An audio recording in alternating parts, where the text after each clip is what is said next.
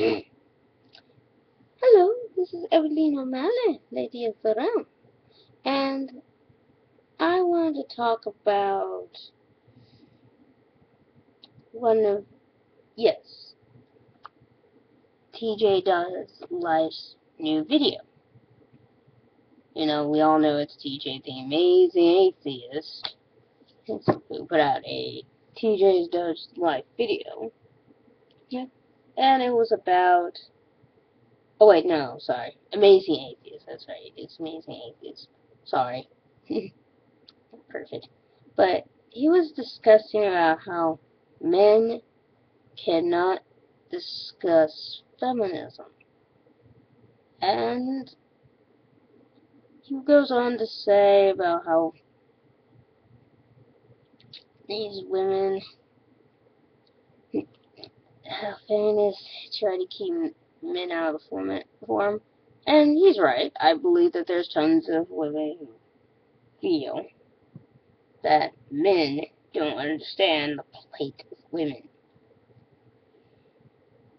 Albeit, I believe that both men and women's plights might be a little bit different. They're kind of the same.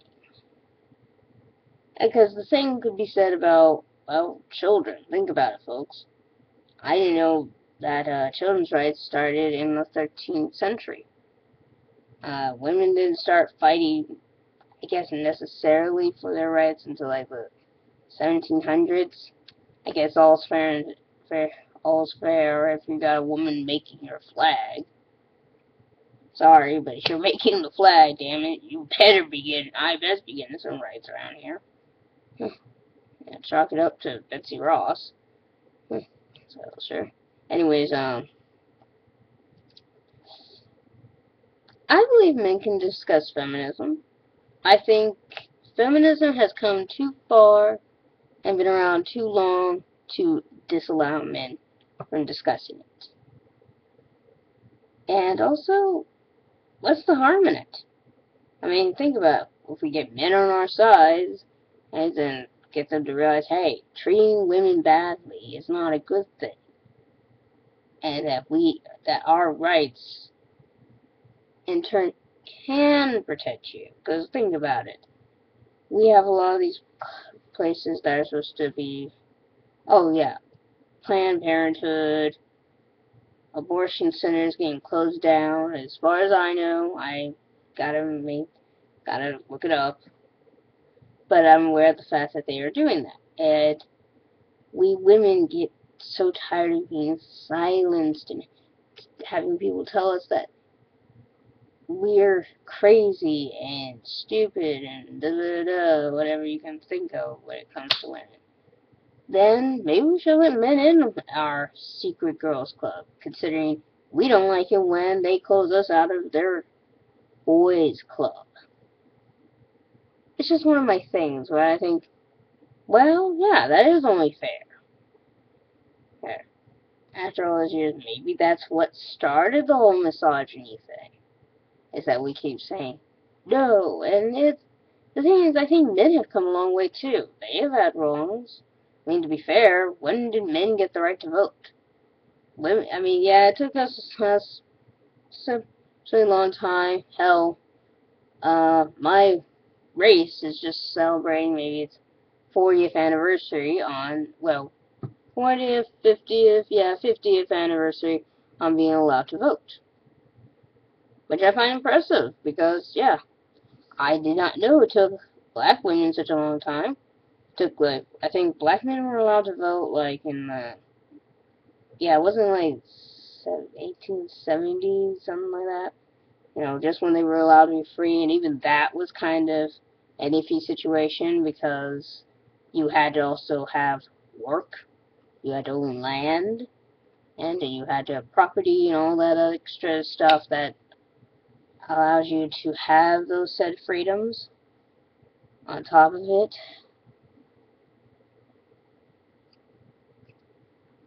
However, I'm sure that was still very hard for black men to walk around and not, and, you know, not still have someone on their side. Because to be fair, there were still black people who lived on plantations that they grew up on. There's no reason to leave. I mean, I guess technicality is, well, yeah, I might be free, but I'm also free to make my own choices now, meaning, um, why should I have to leave? Really, it's like, if I have to leave, yeah, really, what the F, folks? I should have to leave. Anyways. Sorry, I got a phone call. Joy of wearing, uh, interesting pants. Anyways.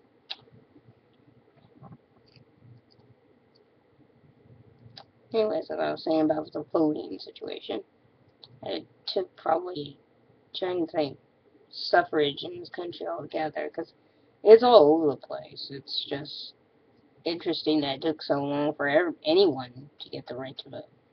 Yeah, because uh, rich men were probably the only ones who were allowed to vote in this country for a very long time. And, yeah. And when, you're right, women have had to endure a lot. So, um, I don't know how many people can agree to children having the right to vote. I mean, I'm just glad we have child we had child labor laws because I can't imagine children doing all the same exact work that a full-grown man would have to do.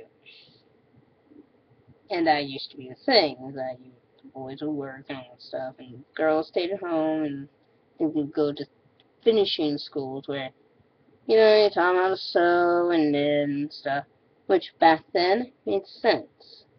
Nowadays, when we live a little bit longer, where things are a lot better health-wise, why do we enforce the whole gender orientation, you know, not gender orientation, gender-specific roles on people as much? And not just older people, younger people too. I mean, I think around where I live, they're thinking about making it where they're going to start teaching that in schools, which I'm thinking, why? Why are we going to do that? It's not going to teach boys to respect girls, because God knows you're going to have them doing all the work. I mean, I could say home ec is probably like the closest thing, and, well, yeah, home ec, home ec's reasonable because they don't have to learn how to cook, they all learn how to sew and stuff like that, which I think are just good things people learn anyways. Is they're just helpful skills for life. It's just like you would learn CPR or anything else. However, I don't think we should enforce gender-specific roles on girls. Or boys, for that matter. Because it just doesn't make sense. But I understand that feminism doesn't exactly fit everybody. Because, yes, you're right. The thing is, in my opinion, we've accepted feminism in our country. We have never, well, it took a long time for them to, for us to start accepting it. But we've accepted it since God knows long, how long. No one has been against it for the last 20 years as I, I know. I mean, yeah, there have been some men who say, like, stupid or it's folded or which I go, well, they probably might be right. I hate to say this, but sometimes I think the men are right and the women are wrong. Uh, when it comes to feminism, depending on the situation. It's also because uh, women don't exactly uh, let men on on the little joke. No, no offense, but yeah, when you're not letting them in on it, that's a little unfair and then we treat them badly. Yeah, I don't like that. And I haven't been liking that. I mean, when I was a kid, yeah, I did the whole silly, bad kid, you know. Boys, girls rule and boys drool kind of thing. We all did that.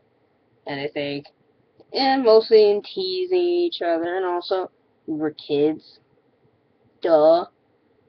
But I think feminism needs to either grow up and deal with the fact that uh, men are just as smart, can be just as smart as they can be. Okay? And men, it's going to be very hard to accept because it is a pretty, it's probably a very hard thing to understand anyways, because there's some things about feminism that I don't get. And I'm technically a feminist. I am not a radical feminist. I believe in liberal and cultural only because I think you need those two to exist anyways. Cultural, at least, you're trying to make an effort to change things in society. You're just trying to say, hey, women can don't have to stay at home and cook all the time. They can be involved in other things that men do as well. Um, and culture families probably don't only have to do those things. They could probably also be trying to help women realize, and men, that it's good. It's not meant to separate the sexes. It's meant to allow women to be in reasonable, fair jobs. And it's to allow men. Maybe that's okay to let the woman be in charge once in a while. I mean, hell, now you can blame the wife if she he does something wrong. Huh? And hold her accountable. On top of that, and um, yeah, I don't mean that a connotation.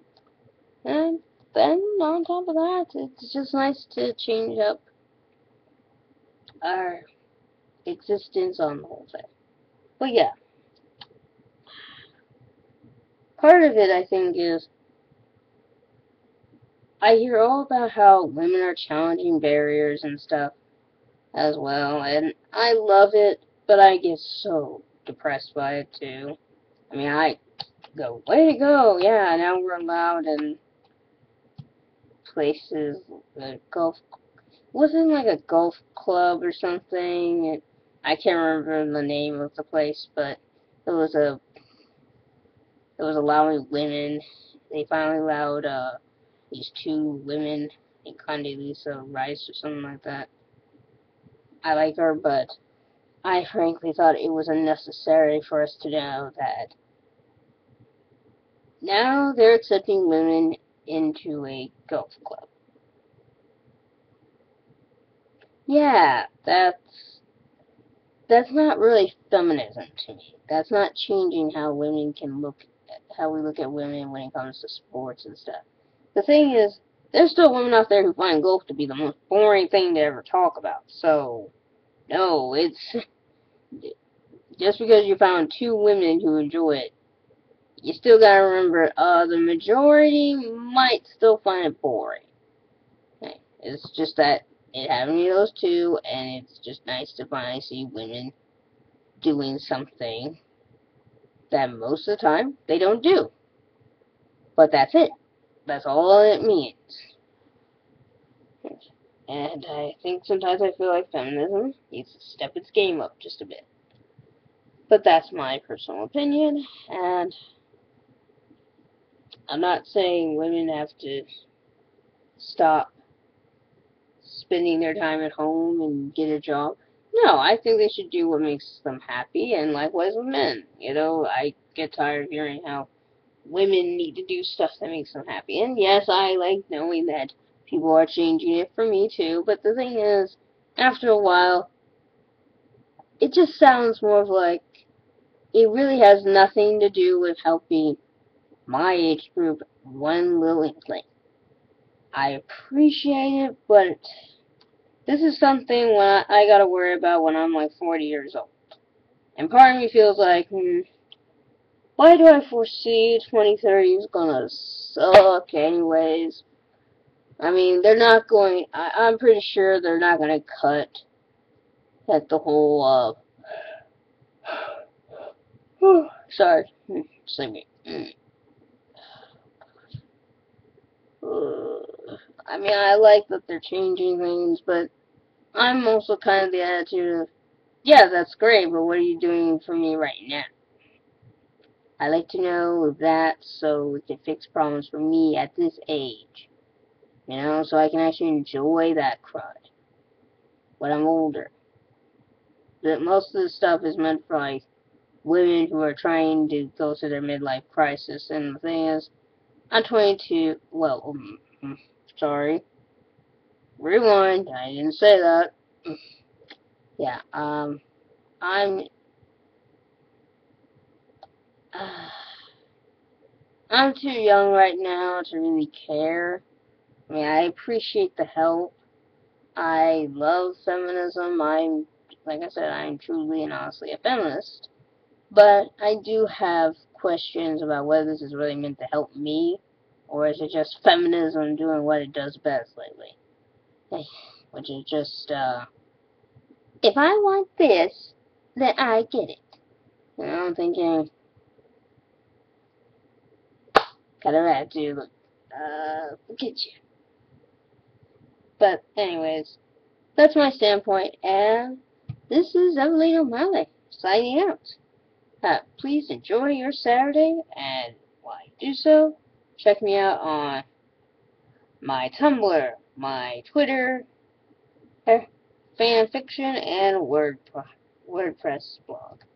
Hi, and have a good night.